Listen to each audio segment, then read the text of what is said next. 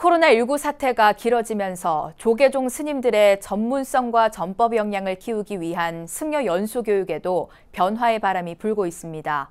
코로나19 감염 예방을 위해 대면 강의 대신 일부 프로그램에 한해 온라인 강의가 도입됐는데요.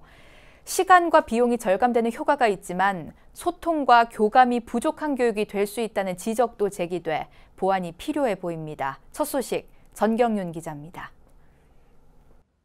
조계종은 지난 2010년부터 스님들의 전문성을 기르고 전법 역량을 키우기 위한 승려 연수교육 제도를 시행하고 있습니다.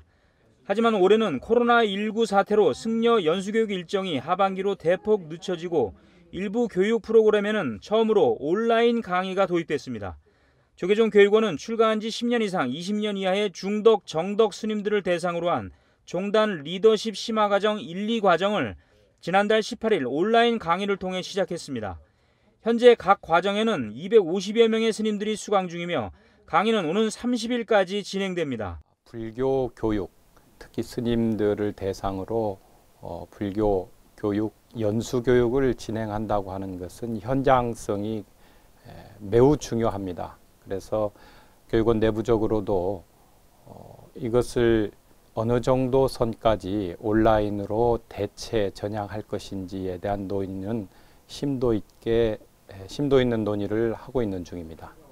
종단 리더십 심화 과정에는 조계종 백년 대계본부 사무총장 일감 스님과 주경 스님, 가섭 스님과 BBS 불교 방송 진행자 주석 스님 등이 강사로 나선 가운데 조계종 교육원 승려 연수 홈페이지를 통해 온라인으로 수강할 수 있습니다. 코로나19로 생활 속 거리두기와 비대면 시대로의 전환이 시작되고 있는 이때 스님들의 연수 교육도 이러한 변화의 흐름에 부응하고 있는 셈입니다. 온라인 승려 연수 교육은 바이러스를 예방하고 연수를 받기 위해 스님들이 먼 거리를 이동하지 않아도 돼 시간과 비용을 줄일 수 있다는 장점이 있습니다.